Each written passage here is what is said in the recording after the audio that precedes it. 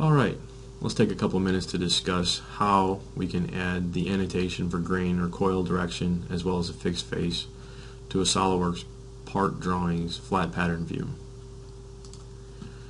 Typically, the grain direction is not something that is defined by default in SOLIDWORKS. But having a sheet metal part, if we expand the flat pattern folder and edit the flat pattern feature, we'll see a group box specifically for grain direction. If we activate that group box and select an edge of our choosing, that will establish a direction for the grain or the coil for the part. Picking OK, we see the part in either the folded state or the flattened state doesn't give us any indication as to what the grain direction is, but it is defined in the part. Switching to the drawing, initially we don't see any annotation indicating that grain or fixed face item.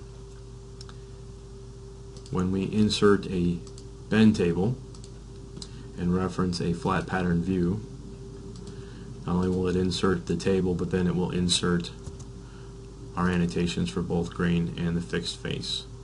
And we can simply left click and drag these annotations around to better suit our needs for our particular view.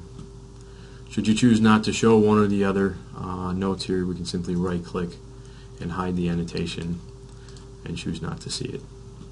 So that is how we go about adding or inserting an annotation for grain coil direction or the fixed face.